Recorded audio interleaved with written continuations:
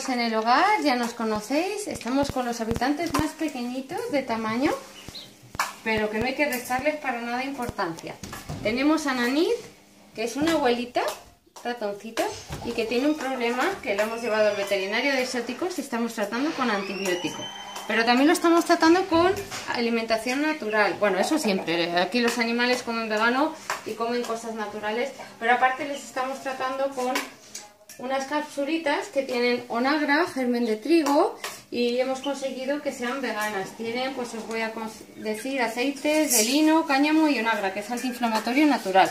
Y les viene muy bien para los radicales libres, porque estos son muy abuelitos y bueno, pues tienen más de dos años de vida y se supone que viven dos.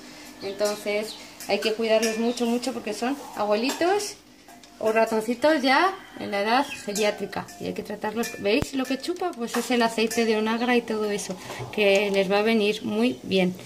Siempre intentamos innovar y descubrir cosas nuevas, sobre todo de nutrición para los animales que viven en el santuario. La especie, el tamaño, el género, eso para nosotros da igual. Son pequeñas personitas que necesitan muchos cuidados por ser abuelitas. Si quieres apoyar nuestro proyecto, porque tú también piensas igual, no se te olvide que puedes amadrinar a la abuelita Nanit para ayudarnos con los gastos veterinarios o a su compañera o a las dos, a Nanit y Naitiri. Un beso grande desde el hogar.